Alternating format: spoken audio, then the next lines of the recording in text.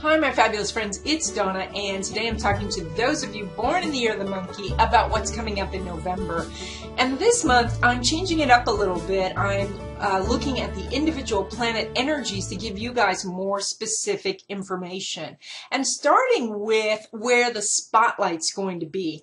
The spotlight uh, this month in November is really on those parts of your life that maybe are not as visible to other people. So the things that you're trying to hide from other people. And this is a really great opportunity to clear out bad habits, to let go of guilt, to let go of things that are really stopping you.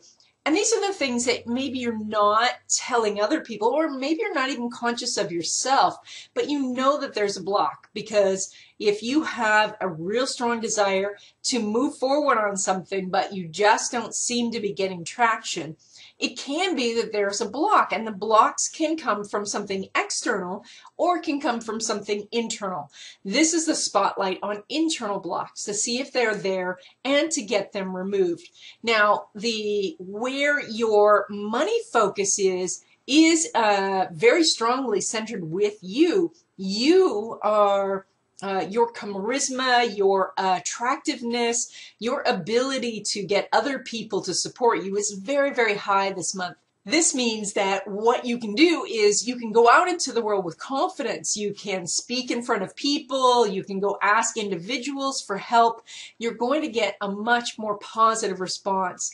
This also works in the area of love. If you are looking for a relationship, your attractiveness level is much higher this month than it has been in previous months. So that means, you know, go to mixers, go to singles functions, uh, you know, go to even business networking meetings and you're going to find that people are attracted to you.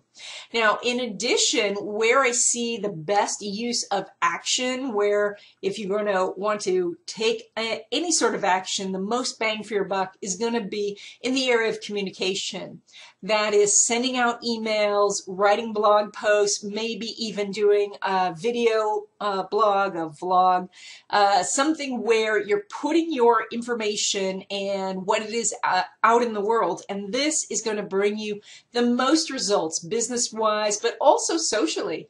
You know, just posting some things on Facebook, you're going to find that people are responding, that you're getting people to follow you, they are sharing what you're doing, so you're getting real engagement. And then where your luck is centered, and we're going to be talking about this for months to come because this is a longer aspect, but your luck is up there in the area of future and friendship. So it's a great combination.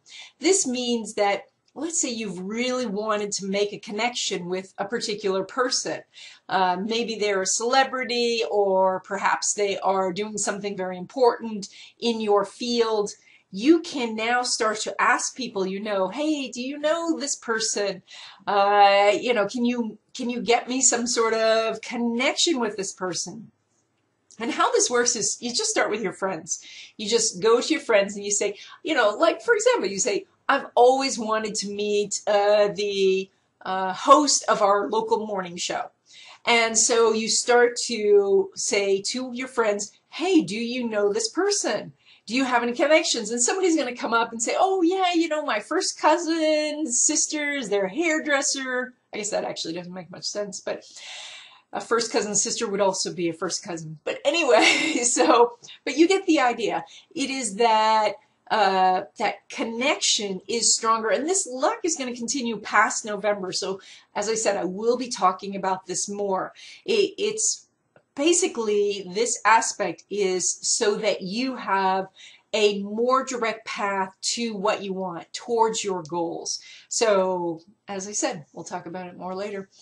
And that's it. I hope you enjoyed this video. If you did, please give it a thumbs up. And if you haven't already, please subscribe.